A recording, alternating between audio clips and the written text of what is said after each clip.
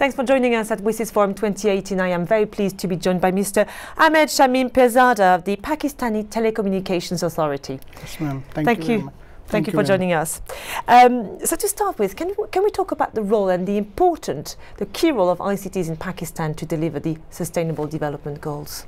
Yeah, thank you very much. Uh, it's a, a pleasure to me to be here on the behalf of the our Minister, Her Excellency Honorable Anusha Rahman Khan, who has uh, direct uh, deputed me to uh, to give the interview, and she was busy somewhere in uh, other bilateral meetings.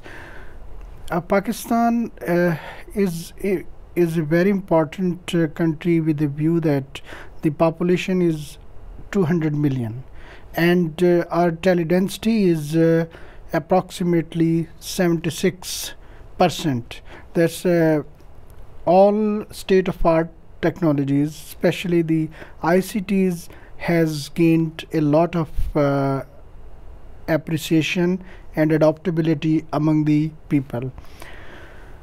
The first things comes with the policy that the government of Pakistan has issued a policy uh, which is uh, which I would say that uh, it's a forward-looking policy, and uh, its uh, major objective is to provide reliable, affordable, and sustainable telecommunication services, ICT services to the public.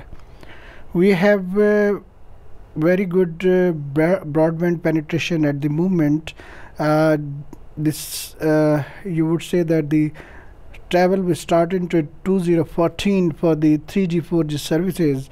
Now we have 53 million subscribers for the broadband, and uh, which is a, I think that good uh, sign uh, for a country like a big country like Pakistan.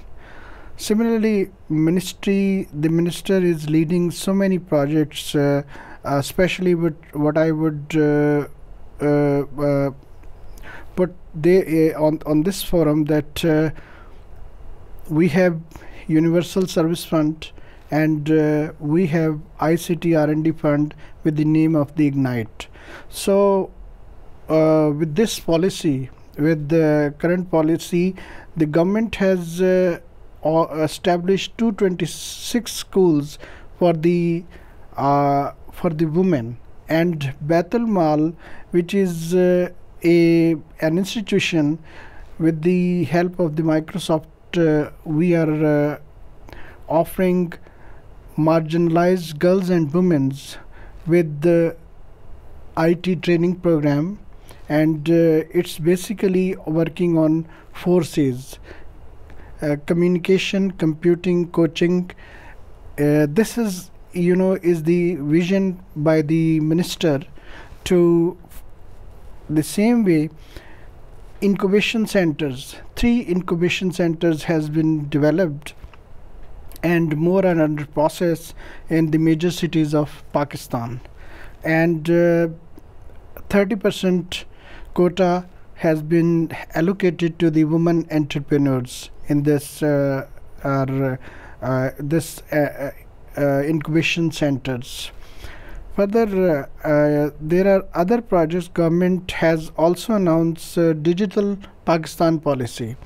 That's for uh, especially the ICT services, uh, IT enabled. There is uh, no taxation on it, and uh, the major aim is to make Pakistan an international hub or international level IT export country for the in the future.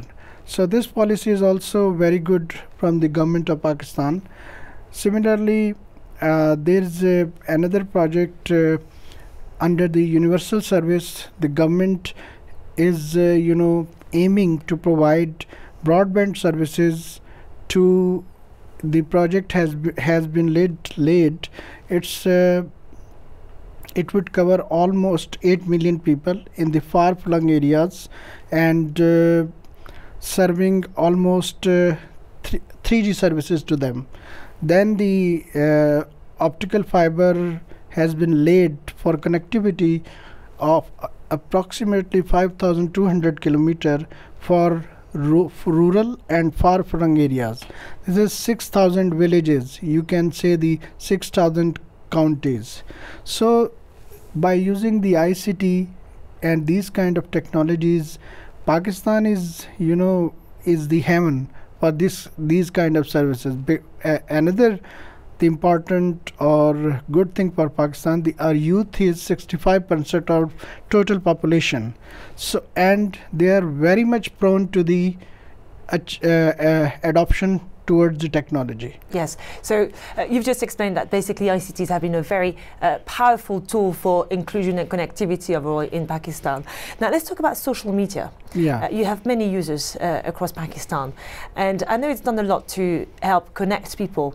But I think the Pakistani government would have liked to see a bit more regulation as well, uh, possibly. So tell me about that. Yes, uh, social media is uh, is a very good platform for connectivity for making the is a Pakistan is a as a you know what we say this is now old word global village. You are connected to your friends old friends you are uh, getting on the Facebook on and uh, and uh, YouTube. You can have it's a no, tons of knowledge there and uh, most of the time we use it.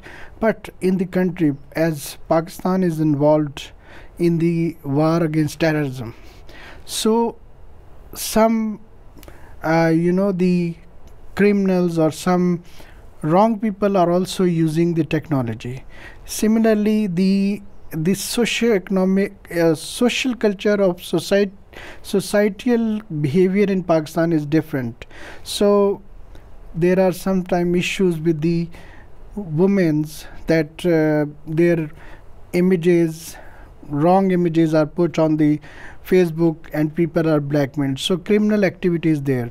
Government has uh, uh, in 2016 has introduced a very a new law uh, which is uh, PICA Pakistan Electronic Crime Ordin- uh, Act 2016 so i think that we should instead of we may have a lot of regulation we should have some interaction with the with social media people that the regulator or the government when they say something they should listen to them Okay. And, they they yeah and that's why it's important to, to come here to WSIS Forum to meet all the stakeholders. yes yes that's that's that's that is the uh, there are so many aspects one of them was this one as well Okay, Mr. Pirzada, thank you very much. thank you thank you madam